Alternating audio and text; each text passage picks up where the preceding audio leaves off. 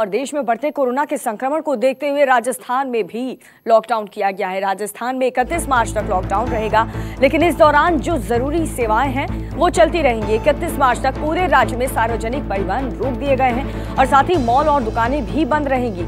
जी देखिए, राजस्थान पहला राज्य था जिसने 31 मार्च तक कोरोना को लेकर लॉकडाउन किया। इसका मकसद यही है कि यहाँ पर भीलवाड़ा सबसे संवेदनशील माना जाता है, क्योंकि यहाँ पर एक डॉक्टर ने कई मरीजों का इलाज किया और उसके बाद इस तरह की घटना आई। इसके अलावा विदेशी पर्यटक भी आए थे और सबसे पहले यहाँ पर कोरोना पॉजिटिव मिला था। तो इस चक्कर में यहाँ पर सरकार पहले दिन से ही काफ़ी गंभीर थी और अब लॉकडाउन के बाद जो गरीब तबके के लोग उन्हें राशन की दुकानों से दो महीने का राशन निःशुल्क देने का सरकार ने वादा किया है। इसके अलावा सरकार की कोशिश यही है कि कल जब पूरा जयपुर एक तरह से कहो तो बंद था।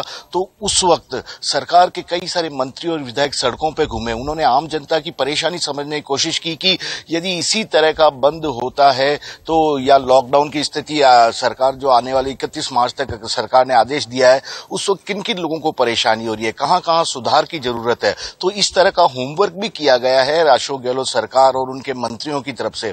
अब कोशिश की जा रही है जो ज़रूरत की चीज़ें हैं, उनके दाम नहीं बढ़े काला बाजारी न हो, लोगों से भी अपील की जा रही है कि जिस तरह का सहयोग उन्होंने रविवार को दिया, उसी तरह का नागरिक धर्म उन्हें 31 मार्च तक भी निभाना है।